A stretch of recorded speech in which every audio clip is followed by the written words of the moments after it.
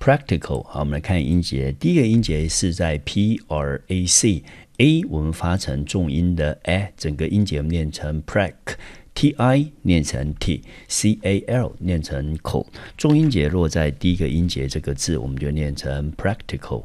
practical，好，那 practical 呢？这个字呢，它是一个形容词，中文翻成实际的。那我们看英文解释，relating to，好，这个是与什么什么有关，跟什么东西有关呢？跟实际的状况有关。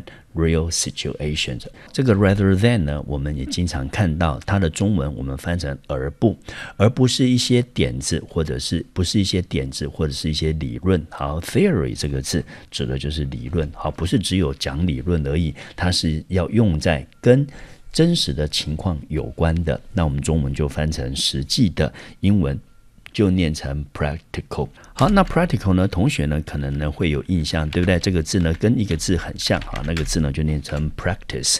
那 practice 这个字呢，我们中文就把它翻成练习，哈。这个同学呢很早以前就知道的。好，这两个字你要实际上有练习，你才会有进步。就像是我们在练习英文，是不是你也要多多练习，才能够有实际上面的进展呢？好，我们看例句：While Eric would like to satisfy everyone. In practical terms, it is just not possible. 好，这个 while 这边其实就是等于 although 的意思。好，那中文我们就把它翻成虽然、尽管。好，虽然呢，Eric would like to，他想要这么做，想要怎么做呢？去 satisfy。使什么什么人感到满意，英文就念成 satisfy。他想要让每个人都满意，但是 in practical terms，来各位，这个是一个蛮常见的片语。同学呢，建议同学呢可以把它背起来，叫做 in practical terms，指的就是具体来说，实际上的来说。It is just not impossible，这件事情是不可能的。好，那 practical 这个字呢，除了可以当做实际的，也可以当做实用的。好，我们看英文的例句：High heels may look beautiful, but they are not practical for daily activities。好，high heels 这边指的就是高跟鞋啊。heel 这个字呢，本身它的意思呢，就是脚后跟。好，我们的脚趾，英文就念成 heel。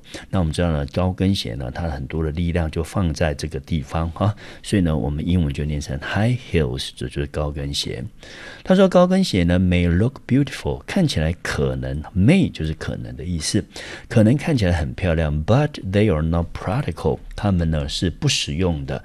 对什么而言是不实用的呢？For daily activities，好，这 daily activities 指的就是日常活动。